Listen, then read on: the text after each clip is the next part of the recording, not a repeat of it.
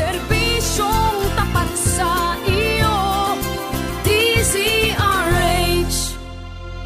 Miyembro ng KBP, kapisanan ng mga broadcaster ng Pilipinas. Ang susunod na dula na inyong maririnig ay hatid sa inyo ng MBC DZRH. Hukumang Pantahanan Hukumang Pantahanan Mga kasong tunay at totoong nagaganap sa pang-araw-araw nating pakikibaka sa masalimuot at mapagbirong kapalaran magsisilbing tagapagpaalala upang makaiwas sa mga krimen at kaguluhan. Tatayong bantayog na magpapatatag sa kalooban ng bawat nilalang. Hukumang Pantahanan!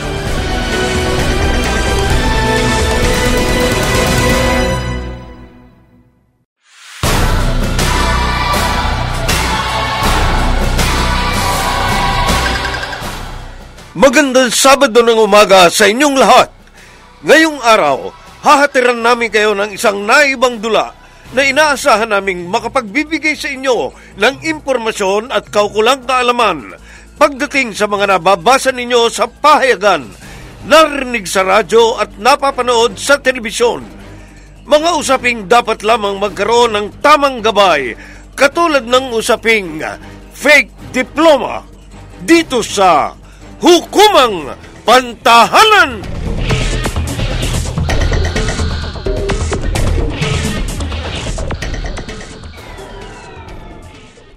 Mark, tumawag na ninong mo. Papunta na siya rito sa bahay. O ano? Handa ka na ba? Ha- handa na po ako, ma. Eh, ano po ulit yung pag-uusapan ni na Papa at Ninong Renato? Ipapasok ka ng papa mo sa bangko kung saan siya naging presidente noon. Hihingi niya ang tulong ng ninong mo para magkaroon ka ng trabaho. Ano naman po kayong trabaho ang ibibigay nila sa akin? Ay, diyan natin malalaman pagdating ni Renato. Kaya ikaw, Mark, maghanda ka sa mga isasagot mo kapag tinanong ka niya. Kailangan maipalabas mo na graduate ka talaga ng kolehiyo at may master's degree sa University of Pennsylvania. Eh, ma, kinakabahan po ako eh. Kung nag-aral ka lamang na mabuti noon, edi sana hindi ka kinakabahan.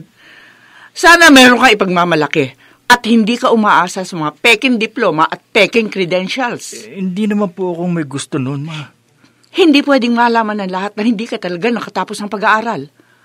Alam mo naman may inaalagaan kami reputasyon ng papa mo. Hindi lamang sa buong kumpanya, kundi pati na rin sa mga kamag-anak natin at kaibigan namin ng papa mo sa business world. Kapag nalaman nilang hindi ka tapos, hindi lang ikaw ang mamatahin nila, kundi pati kami. Ma, Kaya ayusin mo yung sarili mo mamaya, Mark. Maging smarty ka sa pagsagot sa mga tanong ng ninong mo. Ipakita mo talaga sa kanya na isa kang degree holder.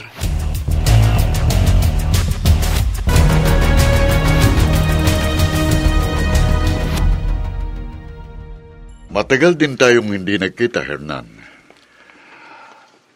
Limang taon din kaming tumira sa Amerika pagka-retire ko sa pagiging ah, presidente ng Oriental Bank. Ikaw, kumusta lang ang kumpanya natin? Ayun, going strong pa rin. Ipinagpatuloy ko lamang yung nasimulan mo. Ah, siya nga pala, balita ko nakapagtapos na ng master's degree ang inaanak ko. Oo. Kaya graduate lang niya sa master's degree in economics sa University of ah, Pennsylvania. Papa? Ninong Renato? Um, mano po? Bless you. Oh, kumusta ka na? May asawa ka na ba? Eh, ayos lang po ako, Ninong. Wala pa po akong asawa. Ikinuwento ko sa ninong mo na kagagraduate mo lang sa master's degree mo. Uh, You know what? Bigatin ang tingin sa iyo kapag nakapagtapos ka ng Master of Arts degree in Economics. Tapos sa Amerika pa. Anyway, ano pala yung natapos mo nung college? uh, ano, ano po eh? Sa College of St. John siya nakagraduate ng college. BSBA, Major in Economics. Opo. Tama po si Papa. Ah, Tamang-tama. Kailangan namin ng ekonomista sa kumpanya. Kung ganon, pare, ipasok mo na si Mark sa Oriental Bank. Balita ko, bakante yung posisyon para sa operations manager. Yung anak ko nang kunin mo. Oh, sure. Pasok na pasok ang anak mo sa job requirements for operations manager. Kahit wala pa siyang experience sa managerial position, eh, mataas naman ang pinag-aralan niya. What do you think, son? Um, uh, sure. It's my pleasure to work with you, Ninong. Oo, so ngayon pa lang ihanda mo ang lahat ng requirements mo. Kakausapin ko na si Jobel. Oh, bakit? Promoted na ba si Maring Jubel? Oo, siya na ang HR manager. Oh, Kaya napakaswerte mo, Mark. Kasi madali ka lang mapapasok sa trabaho kasi ang ninang mo ang tatanggap sa'yo. Uh, thank you po, Ninong. Tatanawin ko po itong malaking utang na loob sa inyo.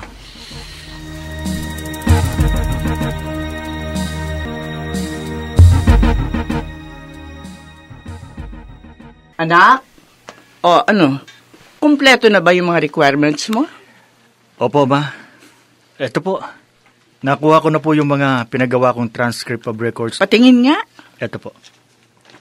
Hmm, ayos ha. Mukha original. Pati documentarist na bukong totoo. Tama. Isama mo na yung transcript mo sa diploma mong ipinagawa natin. Five years ago.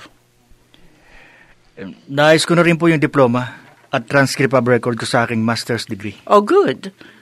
Bukas, isubmit mo na yan kay Jubel para makapagsimula ka na kaagad. Eh, ma, kinakabahan po talaga ako. Oras na ma-hire ako bilang operations manager. Eh, hindi ko po alam kung anong gagawin ko. Huwag mong alalahanin yun. Tuturuan ka ng papa mo. At saka nando naman ang ninong mo. Hindi kanya pababayaan. Eh, ma, Mark, magkaroon ka sana ng kumpiyansa sa sarili mo. paano po ako magiging confident sa sarili ko? Kung alam ko naman peke ang diploma at mga credentials ko. Yan na ang sinasabi ko sa iyo noon. Ilang beses kitang pinangaralan na unahin mo muna ang pag-aaral mo bago ang diversyon. Pero hindi ka nakinig sa akin. Kung nagtino ka lamang sana sa pag-aaral mo, di sana totoo ang diploma at mga credentials mo. Ay, naku. Napasubo na tayo, anak. Panindigan na lamang natin yung kasinungalingan sa mga achievements mo. Wala nang atrasan to.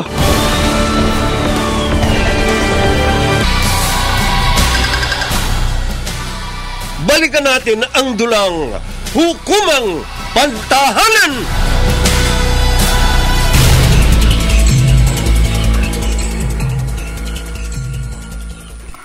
Ma'am Jubel, kumusta na po? Tuloy na po ba ang promotion ko bilang operations manager? I'm sorry, Miss Elaine. Pero nakahanap na kami ng empleyadong perfect for the job. Pero buong akala ko, ah, at saka alam ng lahat na ako lang po ang qualified for the position. Ma'am, sino po yung na-hire nyo? Bagong employee, si Mark Emmanuel Fernando. Anak ng dating presidente ng bangko natin na si Sir Hernan Fernando.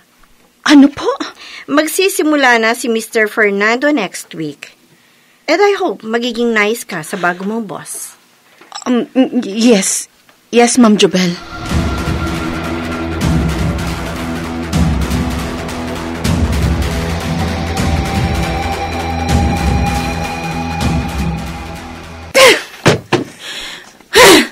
Elaine, Um, ayos ka lang ba? ah, Teka, galit ka ba? ay, pa, pa, pas, pasensya ka na. Hindi ko sinasadya makaistorbo sa'yo. Sinalo ko lang tong gamit ko. Muntik na kasing mahulog eh. Ah, ganun ba? Oo. Ah, sige. Nakakainis. Promotion na sana na pornada pa. Iba talaga kapag may kapit ka sa itaas. Ako dapat ang operations manager. Pero dahil sa malakas yung isa, ako na overqualified ang naitsapwera. Nakakagigil. Di bale, kaganti ako. Kung sino man yung Mark Emmanuel Fernando na yan, humanda siya sa akin. Sisirain ko siya!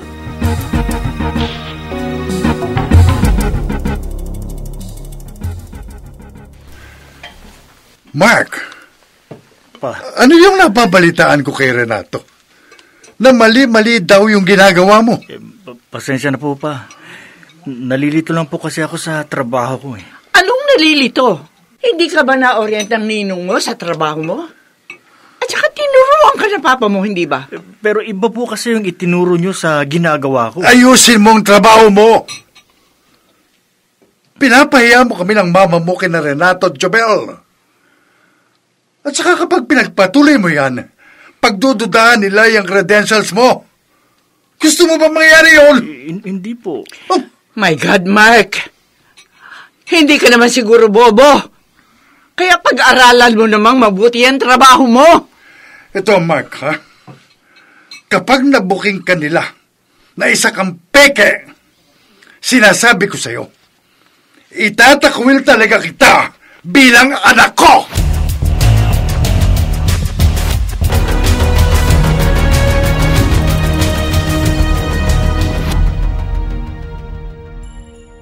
Sir, na-check ko na po itong mga documents na pinasa sa inyo ni Sir Mark. Lahat po mali. Ano ba naman yung si Mark? Simple na nga lang yung pinagagawa ko sa kanya. Hindi pa niya magawa ng maayos. Ah, Nagsisimula na akong mapaisip na incompetent yung anak ni Hernan. ah, sir, if you don't mind, ano po bang credentials ni Sir Mark? Saan po ba nagtapos ng pag-aaral yun? BS, BA Economics ang natapos niya sa College of St. John. Tapos, may master's degree pa siya sa University of Pennsylvania. Wow! Kung mataas pa lang pinag-aralan niya, dapat alam niyang trabaho ng isang operations manager. Um, wag po kayong magagalit sa akin, sir, ha? Pero, nagdududa po ako sa credentials niya. Ah, thank you, Elaine. You may go to your desk. May kakausapin pa ako. Um, yes, yes, sir. Ano ba ito? Hello, Sir Renato? Ah, Jobel, may ipagagawa sana ko sa'yo. Can you check the employee's profile ni Mark? Okay, sir, no problem. Ano pa ang gagawin ko? Ah, paka-check mo nga kung legit ang mga sinabit niyang requirements, especially his educational records. Jobel, I need answers as soon as possible.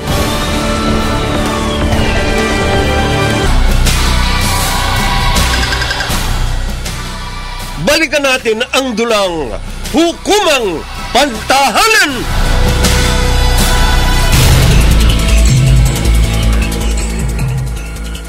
Anong balita, Jobel? Kumusta na ang ipinagagawa ko sa'yo? Bad news, sir. At nakakabahala ang nadiskubre ko about sa records ni Mark. Anong mga natuklasan mo? First, tinawagan ko yung registrar ng College of St. John para i-confirm kung nasa list ng alumni nila si Mark Emmanuel Fernando. And it turns out na wala siya sa list. Ano?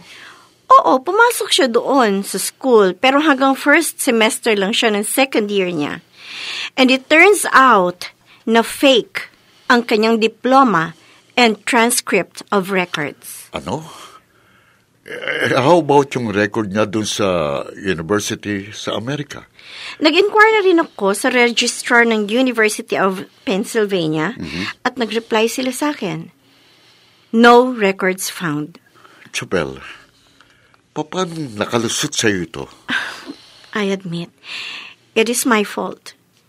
Masyado ako nagtiwala sa mga sinabmit na requirements ni Mark sa amin, kaya hindi ko na kinonfirm. At saka nagtiwala din ako sa papa ni Mark.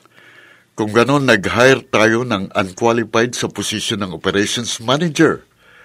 Oh, damn! Malaking kasiraan ito sa atin kapag nagkataon. Aayusin ko ng termination letter para kay Mark. Yes, gawin mo ng mas maaga. At abisuhan mo si Elaine na siyang papalit kay Mark bilang operations manager.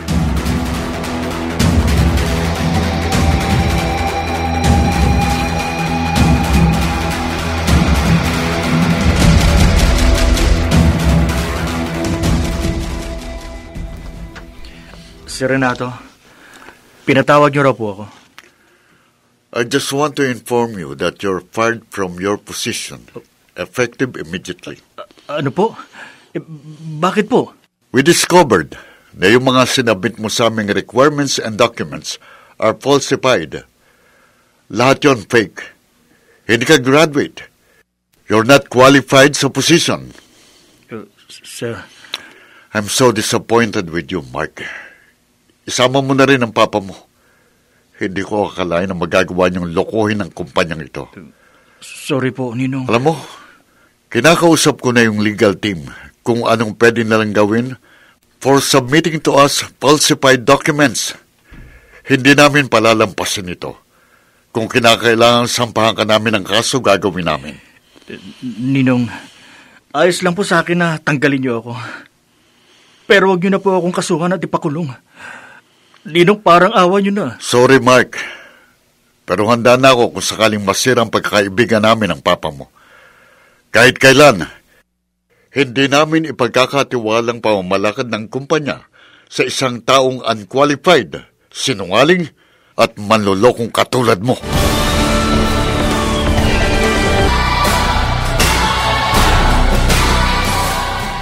Mga kaibigan, narito si Attorney Rina Seco upang magbigay ng karagdagang kaalaman tungkol sa usaping fake diploma. Itinuturing pong krimen sa ilalim ng Revised Penal Code hindi lamang ang pamimeke kundi maging ang paggamit ng peking dokumento tulad na lamang ng diploma at transcript of records.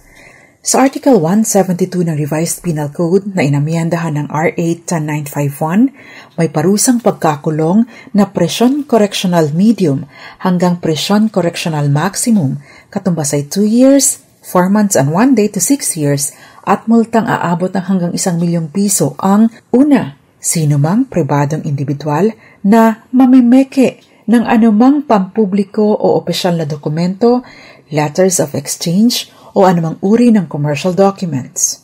Pangalawa, sino mang tao na makapinsala o may layuning makapinsala ng ibang tao sa pamamagitan ng paggamit ng peking private document. At pangatlo, ang sino man na sadyang gagamit ng peking dokumento bilang ebidensya laban sa iba. Sa ilalim po ng Article 171 ng Revised Penal Code, ilan sa mga sinasaklaw ng probisyon ng falsification ay ang mga sumusunod. Una, ang pamimeke o panggagaya sa anumang sulat kamay, lagda o rubric. Pangalawa, ang palabasin na lumahok sa isang gawain ng isang tao, gayong hindi naman ito totoo, katulad na lamang ang palabasin na nag-aral at nagtapos ang isang tao sa isang universidad, gayong hindi naman pala ito totoo. Pangatlo, ang hindi makakatotohan ng salaysay sa mga pangyayari. Pang-apat, pagbabago ng totoong petsa. Panglima, anumang pagbabago sa isang tunay na dokumento at dahil dito ay naiiba na ang kahulugan nito. At pang-anim, pag issue ng isang authenticated form ng isang dokumento na kunyari ito ay kopya ng isang original document na hindi naman nag exist katulad ng peking diploma at transcript of records ni Mark. Samantala, ang batas po ay nagpapataw ng mas mabigat na parusa kung ang lumabag dito ay opisyal o empleyado ng gobyerno, notary public o ecclesiastic minister. Katunayan, ayon po sa Civil Service Commission, ang paggamit ng peking school credentials o kahit pa ang pag-fill out lamang ng maling impormasyon sa mga forms, kung ito man ay application form o application for promotion, tungkol sa kanyang educational attainment, ay uri na po ng serious dishonesty na maliban pa sa parusang kulong sa ilalim ng revised penal code ay may kaakibat na parusang forfeiture ng retirement benefits, cancellation ng eligibility, at habang buhay na disqualification para makahawak ng anumang public office. Sa kasong MTC Sibonga Cebu versus Merlin Manubag, sinabi po ng Korte Suprema na sa pamamagitan ng paggamit ng peking diploma at transcript of records, nakakuha ng hindi karapat-dapat na kalamangan o undue advantage sa mga kwalipikadong aplikante sa parehong posisyon si Manubag. Ayon po sa Korte Suprema, hindi ito maaring ipagwalang bahala ng korte dahil pinagkaitan niya ang isang karapat-dapat na individual. Nadehado din anya ang gobyerno dahil napagkaitan ng gobyerno ng mas karapat-dapat at mas magaling na empleyado. At sa mga pagkakataon pong public o government employee involved, umaabot po ng hanggang labing dalawang taon ang parusang kulong dito. Samantala, going back to our case, kung ipupurso po ang kaso laban kay Mark, magiging mabigat po ang kanyang pananugutan sa ilalim ng batas.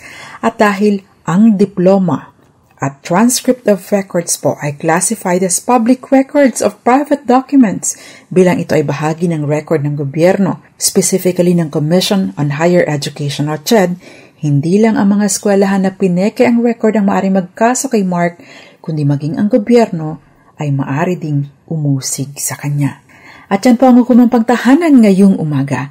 Ako po ang panyera ng bayan, Attorney Rina Seco.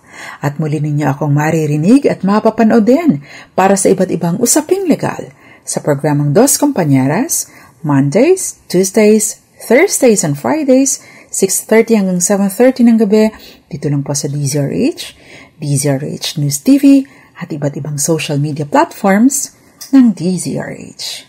Magandang araw po sa inyong lahat. Maraming salamat, Attorney Rina Seco, sa pagbibigay ng karagdagang kaalaman tungkol sa mga batas na pinaiiral sa ating bansa.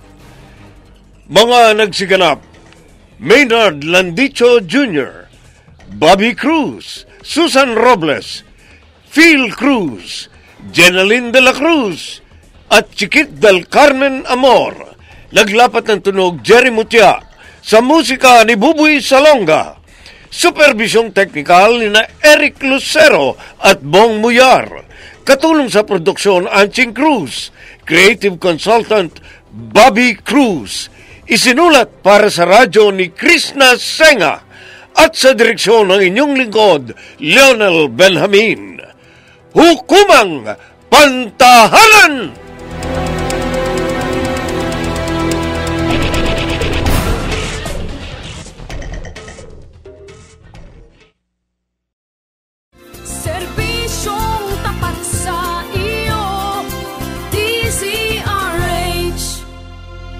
Miyembro ng KBP, kapisanan ng mga broadcaster ng Pilipinas.